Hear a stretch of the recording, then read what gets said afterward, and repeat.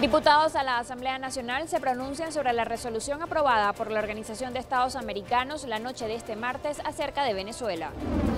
El Banco de Venezuela otorga este miércoles más de 250 puntos de venta biométricos a pequeños y medianos empresarios. Estas y otras informaciones en solo minutos. Un vigilante de un concesionario de automóviles se fue asesinado mientras se encontraba laborando. Conozca los detalles en breve. El abogado Omar Moratosta indicó que en la actualidad existe en el país un total de 409 personas detenidas por motivos políticos. El abogado Jesús David Rojas asegura que Venezuela no está obligada a mantenerse bajo el Tratado Internacional de la OEA. El Instituto Nacional de Meteorología e Hidrología INAME prevé nubosidad y precipitaciones con actividad tormentosa para varias regiones del país. El 6 de junio de cada año se celebra el Día Mundial del Yoyo. Conozca más detalles en nuestro Sabías qué.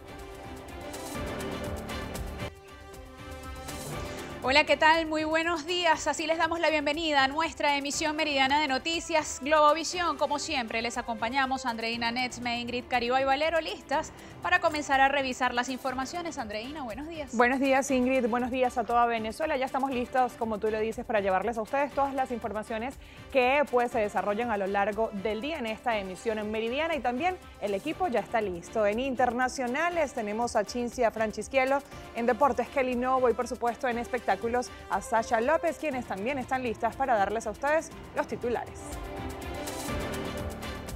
Así es, en nuestro segmento les presentamos los breves de la región, donde actualizamos la cifra de las personas que han perdido la vida por motivo del volcán de fuego en Guatemala.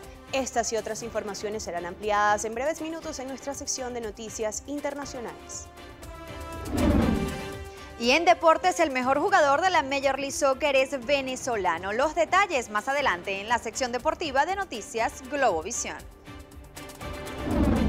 Los nuevos esposos de la realeza británica empiezan a tener problemas con el protocolo real. Si quieres saber de qué se trata, no te pierdas la sección de espectáculos.